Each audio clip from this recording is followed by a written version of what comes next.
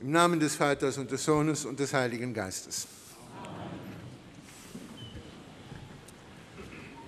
Wenn Sie von weiter hergekommen sind, haben Sie heute mit Sicherheit auf der Straße eins erlebt.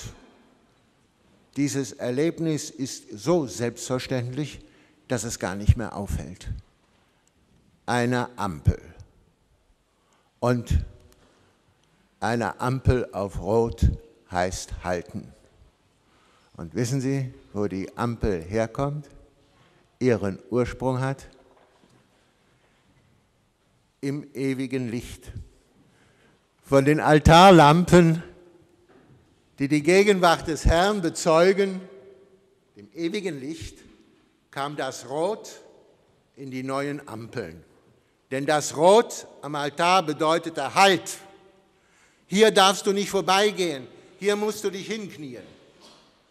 Und wenn Sie so wollen, sind die zweiten Festtage immer Ampeltage, denn sie bedeuten auf die Knie, Halt, einhalten, nicht sofort in den Alltag rutschen, sondern erstmal bitte nachdenken. Also Halt. Und Halt, hier bin ich. Wenn Sie jetzt auf, die, auf das ewige Licht schauen, wir haben hier sogar zwei, auf das ewige Licht schauen und dann mal überlegen, in wie vielen Kirchen waren Sie schon, wo Sie länger nach dem ewigen Licht suchen mussten? Wo man fast den Eindruck hat, das Allerheiligste wird versteckt. Der Tabernakel steht irgendwo in der Ecke. Da haben Sie genau das Problem heute. Wenn aus den Kirchen Multikulti-Hallen werden, wenn aus der heiligen Messe, dem heiligen Messopfer, ein liturgisches Event wird? Warum soll man dann noch anhalten und niederknien? Rot heißt niederknien. Rot heißt Halt. Und jetzt kommt's.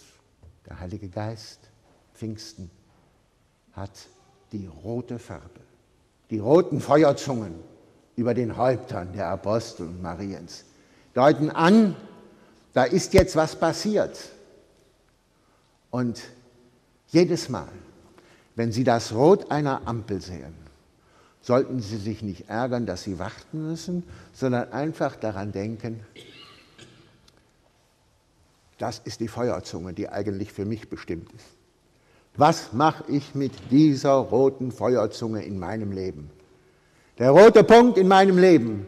Sammle ich Flensburger Punkte? Sammle ich Strafpunkte auf himmlischen Konten? Oder lasse ich mich von der Feuerzunge entflammen? So könnte jede rote Ampel eine Meditationshilfe werden. Mit der roten Ampel den Heiligen Geist in ihr Leben lassen. Denn die Ampel kommt von der Ampel gibt es übrigens erst seit 1912 Verkehrsampeln. Sie regeln den Verkehr und sie regeln, wenn sie sich richtig befeuern lassen, ihren Weg in den Himmel und ihren gelungenen Weg im Alltag. Denken Sie dran. Rote Ampel heißt nachdenken, kurz nachdenken über den Heiligen Geist was macht er mit mir? Wie viel Raum gebe ich ihm?